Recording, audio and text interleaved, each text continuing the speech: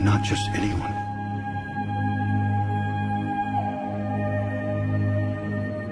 One day, you're going to have to make a choice.